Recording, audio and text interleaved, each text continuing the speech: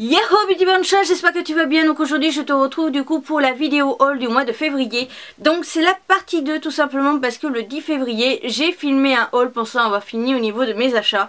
Donc en fait le 10 février il me restait que les 7 yaoi à acheter, les 4 de Boys of et les 3 de Taifu.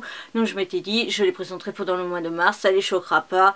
Pour cette manga ça passera, euh, ça passera crème en fait. Mais en fait il y a eu pas mal d'écart pendant le mois de février et suffisamment en fait pour vous faire une vidéo haul.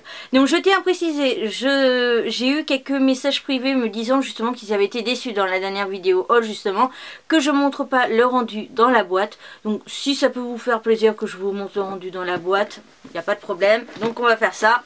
Donc bien entendu c'est une partie 2 donc forcément la boîte n'est pas remplie mais quand même. Voilà. Voilà voilà. Elle n'est pas remplie à rabord hein, mais elle est quand même bien remplie. Donc du coup, si ce fameux haul t'intéresse, continue donc on va commencer cette vidéo légèrement à l'envers tout simplement parce qu'on va commencer par les figurines, puis les goodies, puis les mangas tout simplement parce que j'ai acheté un taille cette fois-ci et je préférerais que ce soit vraiment la dernière partie de la vidéo.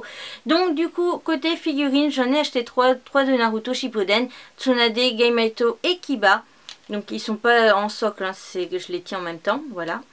Euh, donc pour ceux qui voudraient les voir de plus près, plus de détails, etc. Euh, elles sont de chez Altaïa, la marque Altaïa. Euh, j'ai fait des vidéos ouverture des figurines, donc je te mets les liens en i tout simplement si tu ne les as pas encore vues. Et Tsunade vous laisse barrer, voilà. Ah non Guy, tu te barres pas non plus Non, non, non, non, tu restes à ton socle, voilà. Ensuite du coup en goodies je me suis pris un bracelet, un porte-clés et des post-it. Donc le bracelet, c'est ceci, donc avec le symbole de Naruto. Enfin, voilà le symbole. Euh. Donc au niveau de la matière, il est au top. Euh, je pense qu'il tiendra quand même pas mal de temps comparé à un autre bracelet que j'avais acheté sur ce même site. Donc je te mettrai le lien des trois objets en barre d'infos, bien entendu, il n'y a pas de souci là-dessus. Et euh, moi de toute façon, même si ça tient pas euh, genre 2-3 euh, ans, même si ça tient déjà 6 mois ou un an, je serai largement satisfait. Ce jeu change beaucoup au niveau des accessoires, je pense que vous l'avez vu sur la chaîne. Donc voilà, ce n'est pas très très grave pour moi. Ensuite, j'ai acheté des post-it Gudetama, donc je pensais que c'était un seul pack, mais en fait ils ont divisé ça en deux. Voilà. Donc c'est deux fois les mêmes images, donc je mettrai une photo parce que je pense qu'on verra pas très bien. Donc voilà, donc je vais en garder un pour moi et je pense que le deuxième je l'offrirai. Donc du coup pour le troisième goodies c'est un porte-clés. Donc euh, je l'ai acheté tout simplement parce que j'avais surkiffé l'animé. Donc c'est ceci. Donc je te mettrai le titre de la série par là parce que je m'en rappelle plus du nom exact. Mais voilà j'ai juste surkiffé cette série. Donc je voulais le porte-clés et j'ai plein d'autres objets de cette série à m'acheter. Donc voilà. Hop donc du coup on a fini avec les figurines et les goodies. Maintenant on passe au DVD avant de passer au manga. Donc j'ai acheté trois euh, films d'animation qui sont des films du studio Gilby. Donc euh, ce sont trois euh, qui me manquaient et je crois que c'est les seuls qui me manquaient pour avoir la collection complète. Il m'en manque un par contre. Si il m'en manque au moins un. Mais ça je pense l'acheter prochainement.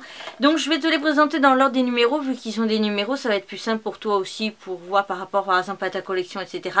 Alors là je suis désolée si j'écorche le nom. Moide Poroporo. On va dire que c'était ça la prononciation. Et c'est de... Par contre c'est un film de Isao Takahata. Voilà. C'est pas Miyazaki. Enfin bon on sait tous hein.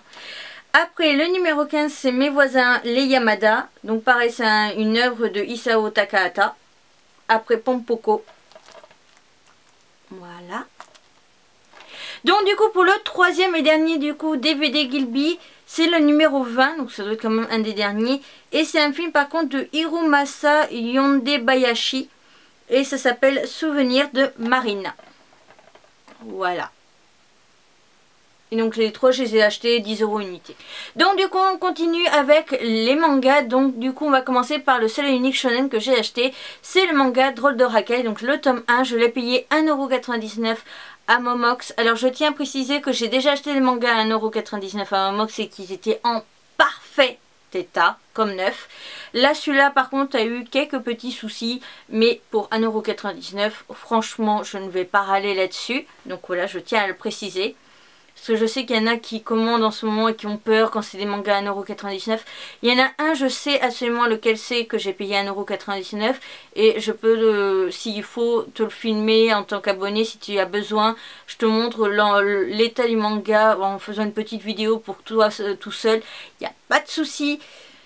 Et donc du coup celui-là il y a eu quelques soucis. Mais à 1,99€ franchement ça me gêne pas. Donc Drôle de Rakai est un, shonen qui est en 19 tomes si je dis pas de la merde. Sinon en 21 enfin voilà. Dans ce genre là de nombre de tomes euh, je te mets une bulle.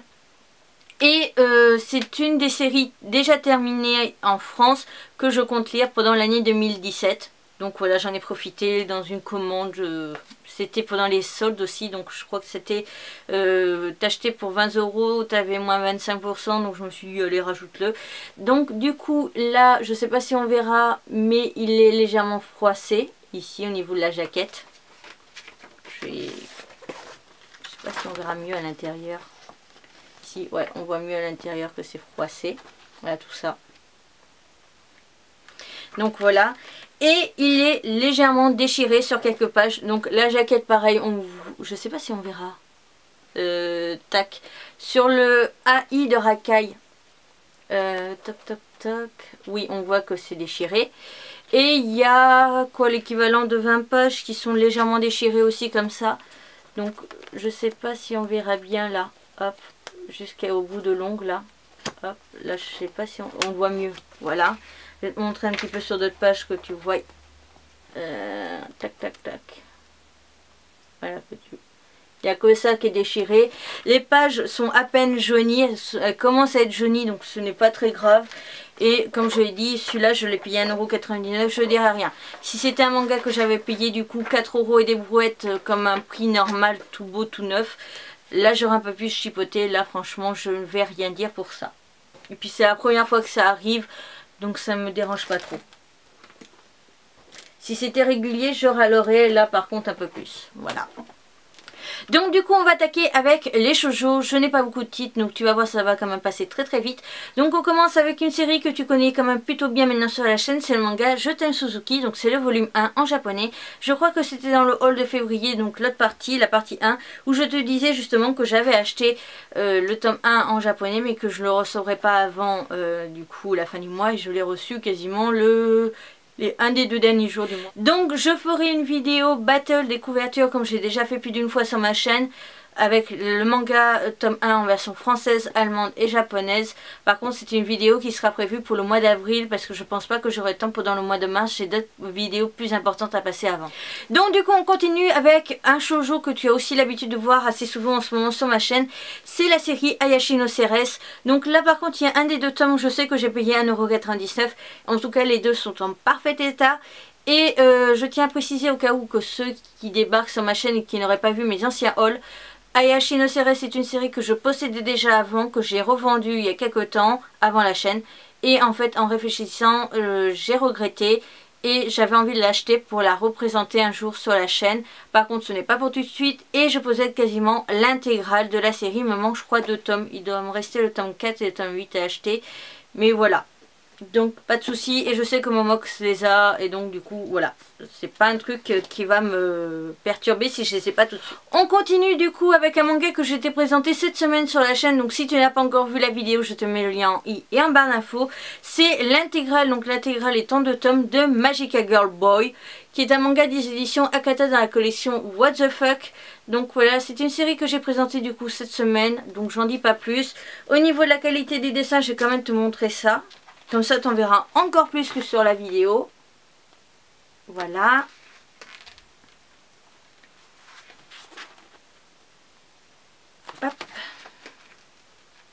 Et on va terminer avec la page la plus importante de ce volume. Hein, la page la plus fun, je trouve.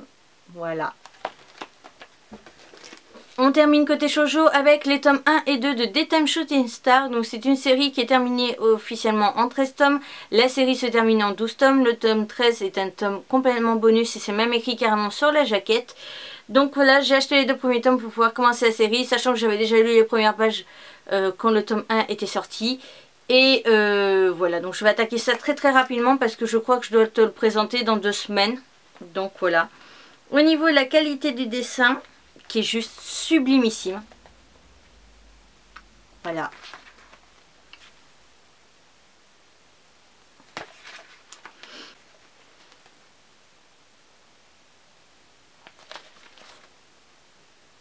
Voilà.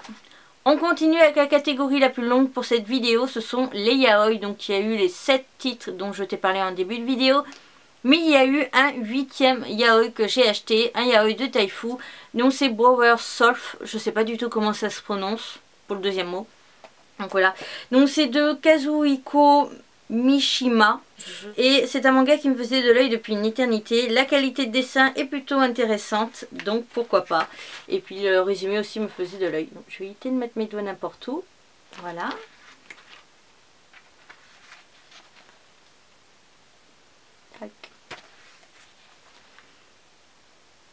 On continue avec 3 yaoi de Taifu, donc tout simplement ce sont les 3 yaoi sortis en janvier et que j'ai acheté du coup en février, fin février. Donc voilà, donc on a Quella Under the Snow que j'ai déjà présenté sur la chaîne mardi. C'est bizarre pour moi parce qu'en fait on est le jour euh, où cette vidéo là sort. On a celui-ci où je serais incapable de prononcer le nom. Et on a Lynx que je lis demain et que je te présente du coup mardi prochain. Voilà. Donc bien entendu, je ne montre pas l'intérieur de ces mangas tout simplement parce que j'ai fait une vidéo vendredi de la semaine dernière où je l'ai montré l'intérieur pour voir la qualité des dessins, etc. Donc je t'invite tout simplement à voir cette vidéo. Ça évite que celle-ci, la vidéo haul, soit trop longue parce que là j'ai quand même acheté pas mal de choses et il y a pas mal de choses à montrer. On va y arriver. Voilà. Donc on termine côté yaoi avec les 4 de Boys Donc je tiens à dire que le jour où cette vidéo sera postée, on sera le samedi. Donc tu as jusqu'à dimanche soir, minuit en gros pour me dire ton ordre de préférence côté manga. Mais sache que le premier, celui qui serait donc du coup présenté mardi, aura déjà été choisi. Et donc du coup ça sera pour les trois derniers, mais pas pour la place numéro 1. Donc du coup j'ai pris celui-ci. Voilà j'ai pris, si tu, euh, tac tac tac, si tu m'emmenais sur une île déserte, voilà, j'ai pris celui-ci, oula, mince, hop, voilà, et le dernier, c'est celui-ci, voilà. Donc du coup le mois dernier je t'ai présenté un magazine et là je vais t'en présenter un avant de passer au hentai. Tout simplement parce que c'est un magazine qui a un rapport avec cette chaîne et que ce n'est pas ni Coyote ni Alimelang Donc pas un magazine vraiment qui va parler de manga mais qui va parler plus de la culture japonaise, de tout l'univers Japon. Donc c'est la revue Planète Japon. Donc là on est sur le numéro 37 et ça fait un petit moment que je connais cette revue parce que j'avais acheté le tout premier. Donc là j'ai un petit peu tordu à force de stresser pour le présenter. Voilà. Et donc du coup voilà. Je n'en parlerai pas plus sur cette chaîne. À part si on me fait vraiment une demande pour me donner par exemple de donner vraiment un avis sur cette revue sur le long terme. Je tiens à préciser aussi que cette revue, je ne la lis pas au fur et à mesure à chaque fois qu'elle sort, je les mets de côté et quand je pars en voyage, je les emmène avec moi pour le train ou pour euh, lire par exemple euh, le matin, etc. à l'hôtel ou aux compagnies. Mais voilà, ce n'est pas une revue que je lis en fait sur le tas, mais plus pour les voyages. Voilà. Donc du coup on va terminer avec le fameux hentai. Donc je te mets quand même le temps euh, de la fin de cette partie hentai si tu as envie de voir la partie fin. Mais sinon ça ne me dérange pas et je ne me fâcherai pas si tu pars maintenant. Donc c'est hentai par contre 16+, je n'ai pas pris un 18+, parce que j'avais envie de commencer avec celui-là, tout simplement. Donc c'est le manga Body Body. Donc voilà c'est un manga de Taifu dans la collection sans interdit. Donc il y a zéro censure. Donc voilà, c'est un grand format par rapport à d'autres mangas parce que je vais te montrer par exemple avec des Tenshooty Star la différence. Voilà, tout simplement. Et euh, c'est tout, j'avais tout simplement envie de changer, j'avais besoin aussi de lire des hentai, j'en lis de temps en temps mais ce sont ceux de Soleil Manga donc super censurés et tout ça. Et euh, j'avais envie euh, tout simplement de, aussi de te présenter les hentai sans interdit de Taifu. Par contre je tiens à préciser que celui-ci je l'ai acheté mais je ne compte pas le lire tout de suite et tu ne le verras sûrement pas sur la chaîne avant le mois de septembre parce que j'envisage en fait à partir de septembre de présenter une fois par mois un hentai.